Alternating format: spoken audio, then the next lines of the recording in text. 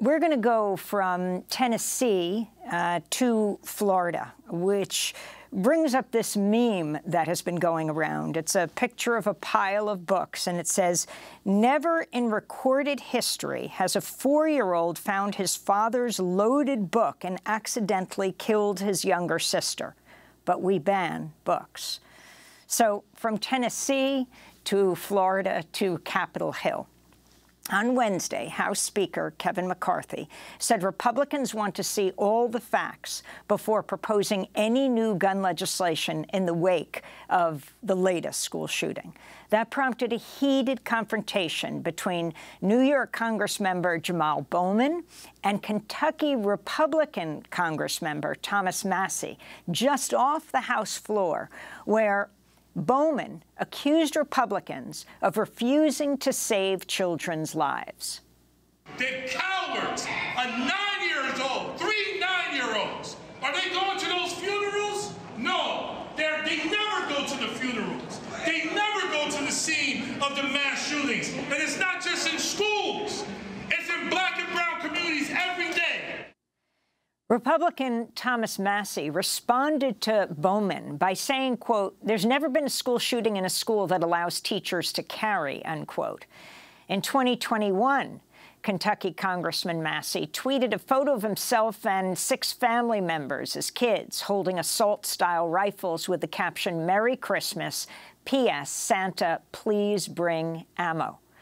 This comes after Manuel Oliver, father of Joaquin, one of 17 people killed in the 2018 mass shooting at Marjory Stoneman Douglas High School in Parkland, Florida, was arrested at a hearing last week in the Republican-controlled House of Representatives after he and his wife, Patricia, spoke out during a subcommittee hearing on the Second Amendment that was chaired by Texas Republican Pat Fallon. Florida Democrat and committee member Maxwell Frost tweeted a video of Oliver, quote, being arrested for speaking out at a committee hearing. Manny is a hero. He didn't deserve this.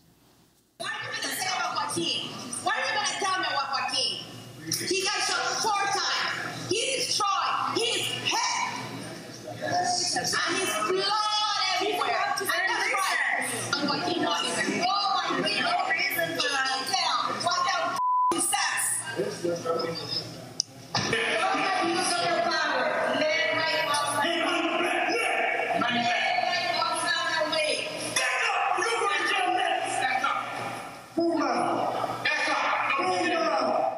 the video shows Capitol Police pushing Patricia Oliver away as they pin her husband Manny to the ground outside the hearing room. Well, Manny Oliver joins us now from his home in Parkland, Florida. He co-founded the gun reform group Change the Ref and engaged in countless protests for action on gun control. He's an artist, and much of what he does is murals and art and resistance. His new op-ed for the Daily Beast is headlined, Arrest Gun-Loving Members of Congress, Not Grieving Fathers. Manny Oliver, welcome back to Democracy Now! It's been five years since you lost Guac, and so many lost their loved ones in Parkland. And now, week after week, I think in 2023, there is a mass shooting at a school alone every single week in this country. What are you calling for? Well, I'm, calling for a, a, a different reaction from from us, from you, from from our neighbors. Uh, this is a, a, a, situation that at some point is going to hit either directly or indirectly. Every time we see someone um, being shot, there's an immediate circle of people that is also being hurt. Uh, mothers, fathers, brothers, sisters. So I think it's time to um, really have something so we can uh, stop the absurd debate with uh, representatives that we already know are not willing to do anything, um, and then have like a nationwide strike, educational strike from all levels of education. Uh, this is for the teachers their place of work, and they don't feel safe. The kids have drills our kids train how to survive these shootings. And it's even worse than that. You have to, I want people to understand that what happened on, on that school in Nashville, probably the kids thought it was a drill. So put that in your heads.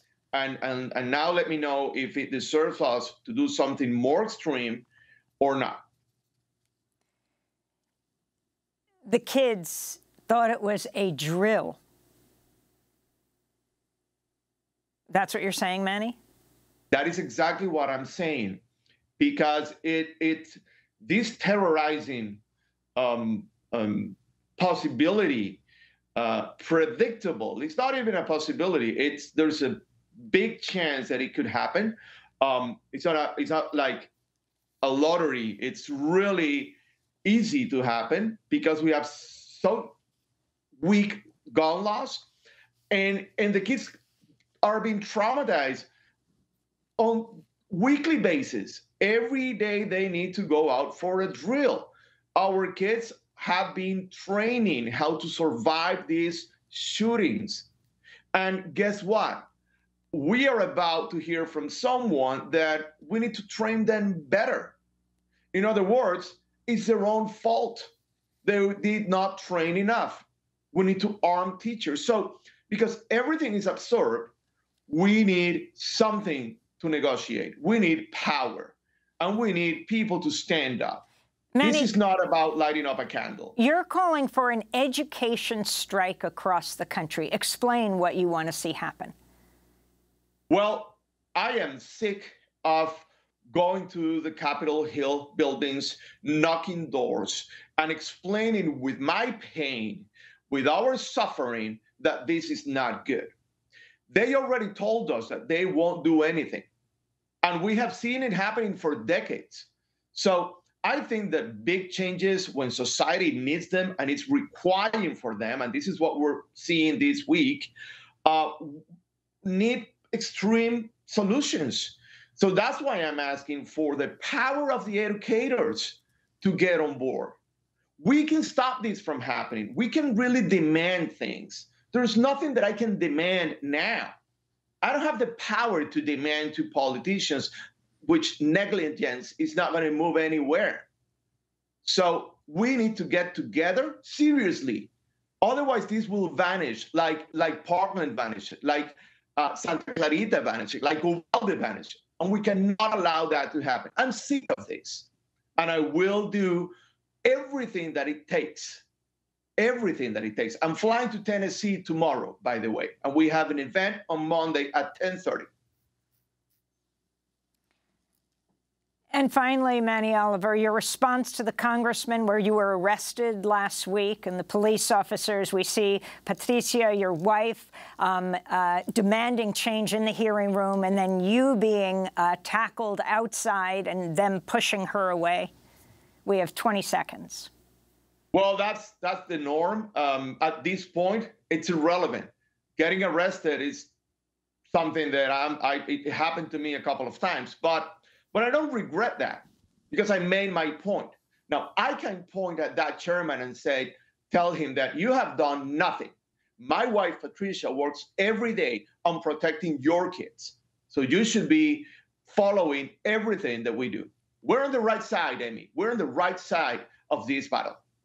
Well, Manuel Oliver, we thank you so much for being with us. And again, our condolences. Uh, Manny is co-founder of the gun reform group Change the Ref, father of Joaquin, one of 17 people killed five years ago in the mass shooting at Marjory Stoneman Douglas High School in Parkland, Florida. We'll link to your piece in uh, the Daily Beast. Happy birthday to Mike Burke. I'm Amy Goodman. Thanks for joining us.